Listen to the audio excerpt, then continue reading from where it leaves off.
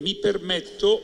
di invitarvi a considerare bene la possibilità di partecipare al pellegrinaggio in Terra Santa. Oggi Sua Beatitudine Tual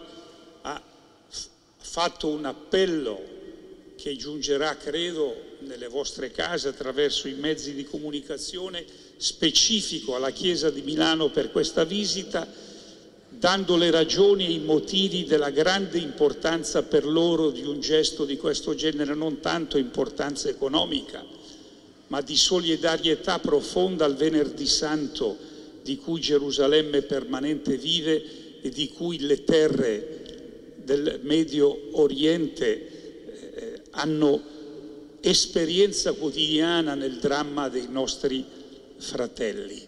Considerate con serietà questa possibilità. Anche le parrocchie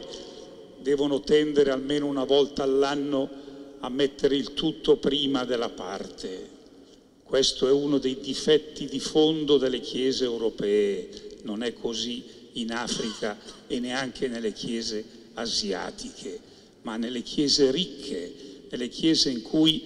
eh, l'individualismo narcisista che in questa epoca sta trovando una nuova forma, costituisce un tarlo che se lasciamo ancora penetrare senza